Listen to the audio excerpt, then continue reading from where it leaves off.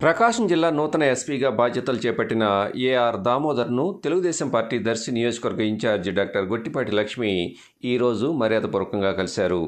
TDP నాయకులు doctor కడియాల లలిత్ సాగర్తో కలిసి ఒంగోలులోని ఎస్పీ క్యాంపు కార్యాలయంలో ప్రత్యేకంగా భేటీ అయ్యారు. ఈ సందర్భంగా దర్శి నియోజకవర్గంలో శాంతి భద్రతల పరిరక్షణకు తీసుకోవాల్సిన చర్యల గురించి చర్చించినట్లు సమాచారం.